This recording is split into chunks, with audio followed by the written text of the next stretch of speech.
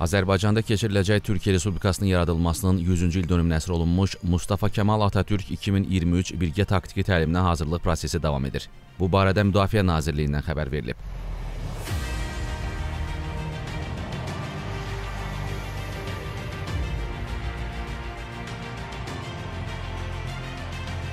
Plana uyğun olaraq döyüş təyyarələrlə havaya qalxma və yerə enmə, kiçik və orta hündürlüklərdə çətin pilotaj manevrləri, şərti düşmənə məxsus yerüstü hədəflərin koordinatlarının təyin edilməsi, eləcə də hava kəşfiyyatının aparılması və digər tapşırıqlar üzrə fəaliyyətləri məşq etdirilib.